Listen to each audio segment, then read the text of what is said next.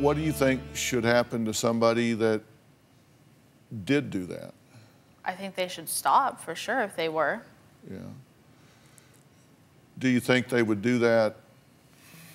Do you think that's something that somebody would do as a kind of a sport? Do you think it's somebody that would be mentally deranged? Do you think they should be punished for it? Do you think, what, what do you think about somebody would do that? I think they would definitely possibly have some mental problems um, and would definitely need those looked into. Yeah. Um, so, well, I agree with that.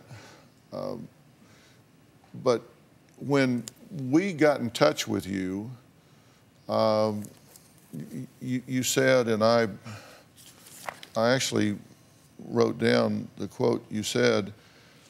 Um, I was actually shocked uh, after I talked to um, the producer uh, that I talked to on the phone, and he explained what April's claims were that I've been posting. So this hit you out of the blue. Yes. You'd never heard anything about this at all No. until we rang your phone. Well, actually, I w- received the initial contact um, through Facebook message. From us. Yes. So I thought that it was a prank at first. Yeah. But yes. You don't expect to hear from Dr. Phil, Yeah. right? But, but until you heard from us, you'd never heard anything about this. No. Well, what did you think? I was blown away. And like I said, I thought it was a prank at first. And then when I realized it wasn't, I was just like, why are these people thinking this? Yeah. Um, and so, what's your goal in being here today? I mean, you want to set the record straight, right? Well, of course. And I also sort of want answers on why she's thinking I'm doing this. Yeah. Um, what would be her possible motive for picking you? I don't know. Um, I think if she's thinking it's me, she genuinely thinks it's me, but I have no idea what her motive besides that would be. Because I don't see anyone accusing of someone something if they didn't think it was them. Yeah. But, I mean, you think maybe the kids look similar or something, but you don't, you're not, you don't have your children, so you No, don't. I don't.